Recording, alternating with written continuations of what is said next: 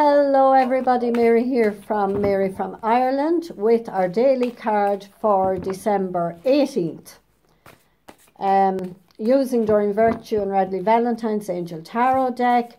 One card. I have about eight minutes, so I won't go on long. I've been recording monthly videos for the star signs. Curiosity led me to it for January. So they'll be up now. They'll take a while because the internet connection is slow and uh, I haven't much space on my phone either. So our daily card for today is, okay, we do this and we don't even split them. We go to the top of the deck. Okay, Eight of Earth. Okay. She's reading, okay, study, research, curiosity, learning, um, enjoyment, taking time out, relaxing, no worries, everything is fine, take time out and learn. Or look at documentaries, look at films, enjoy yourself. Enjoy yourself.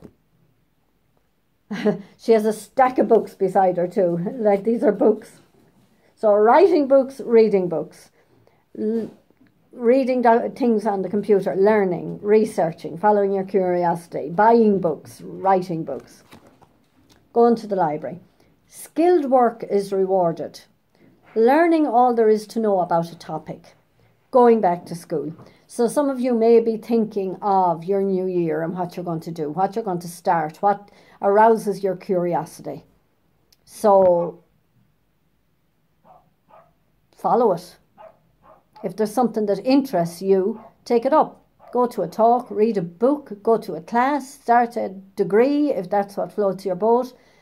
Lots of people, older people, going back to college, like unreal.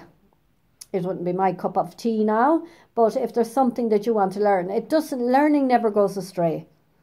You know, there's always something to learn, and even if you don't use it, um, in your business, we'll say, it's still knowledge you have and it's something that you are guided to learn and know about and it will come in handy at some stage.